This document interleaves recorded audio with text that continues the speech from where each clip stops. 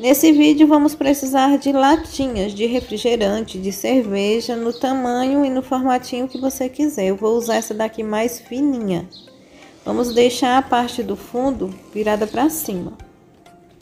Vamos fazer uma abertura do jeito que eu estou mostrando aí para vocês. Usem luvas para vocês não correrem o risco de se cortar na latinha.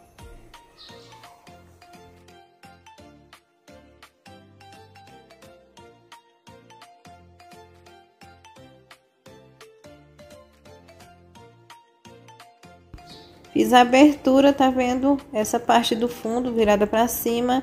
E a parte aí de cima que era a tampa, pessoal, olha só. Quando a gente tira aquele lacre, olha, vai para trás essa parte aí, tá vendo?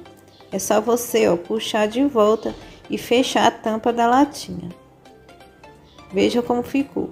Eu vou pegar também um papel laminado né? E vou revestir essa parte do fundo. Poderia ser o próprio pedaço da latinha, eu poderia cortar um círculo e colocar embaixo. E agora o que vamos fazer?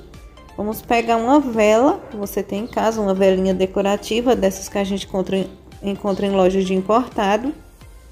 A minha é de cacto, olha só que linda, tem de vários formatinhos e elas são muito baratinhas. É só você colocar essa velinha aí na parte do fundo Nessa parte de cima, vamos colocar um óleo aromatizante ou alguma água aromatizante que você quiser colocar aí. Eu vou colocar uma água aromatizante e vou colocar também cravinhos para dar mais cheiro. Porque nós acabamos de fazer, pessoal, um aromatizador caseiro para você colocar na sua casa. Coloque em lugar seguro, hein, gente? Não coloque perto de cortina, nem de poltronas, não deixe as crianças pegarem. Porque depois que a gente acende a velinha, o que vai acontecer? Toda essa lata vai ficar muito quente. Então você também tenha muito cuidado. Já acenda no lugar que você vai deixar. E olha só que linda, a velinha vai esquentando esse óleo, essa água e vai saindo esse cheiro maravilhoso para deixar a sua casa toda aromatizada. É bom para a sua saúde, é bom para a sua casa.